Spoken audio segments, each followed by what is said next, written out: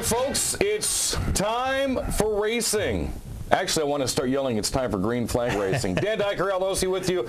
The Seven Rivers Racing Show here in KQEG brought to you by Lost Lake Beer, Holmen American Legion, Cary Heating and Air Conditioning, and the West Salem Pharmacy. We are just about a week and a half and some change out from the La Crosse Fairgrounds Speedway opening weekend of Media Day and their first practice session and folks are starting to really start chopping at the bit.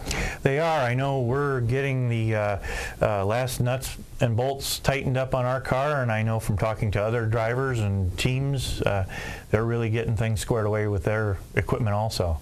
And our guest today just finally got his yard cleaned out, driveway cleaned out, side of his yard cleaned out, maybe even some of his garage. And we're going to talk to him uh, coming up in the program today. I want to thank you for joining us one more time.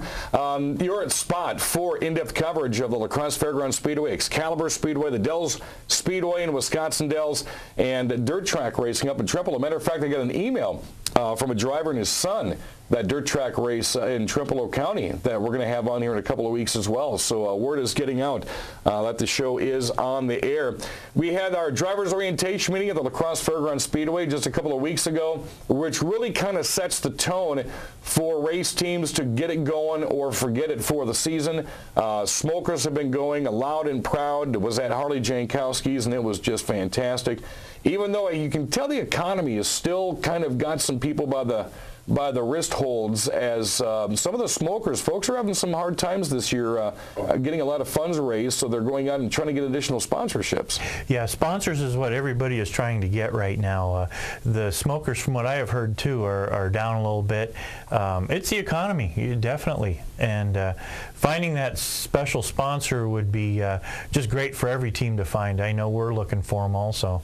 And it's the same thing at the NASCAR level and the nationwide series level. I mean, not everybody gets to be attached with Coca-Cola or Sprint or you know, the, the everyday names you see when you go on uh, NASCAR.com or whatever the case may be, you see those names are splashed all over the place. Um, it's a totally different story for folks that really don't realize at this level of racing in La Crosse or even Excalibur that's going to open back up this year, um, the sponsorships are there, but they're very far and in between. And you definitely have to have sponsorships because as every driver has been on here and, and any driver you talk to, you have to have a sponsor in order to be able to compete for a win you can get out there and run your equipment, but you'd rather have the better sponsor so that you can run in case you have a, any motor problems, tire problems, or anything like that. I think this is the neat time of the year as well when, when you see people on Facebook or maybe on their websites posted not only are they looking for main sponsors for maybe the hood or the, the trunk of the, of the race car, but at the same time they're looking for gas sponsors only. They're looking for tire sponsors only.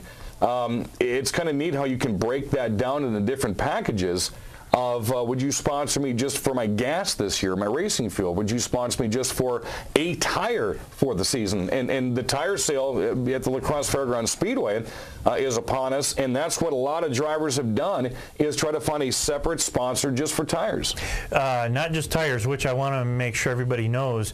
Uh, this show is as this show is airing, uh, the tire sale is going on out at the La Crosse Fairgrounds Speedway, and it'll end around seven o'clock. But it's not just tires.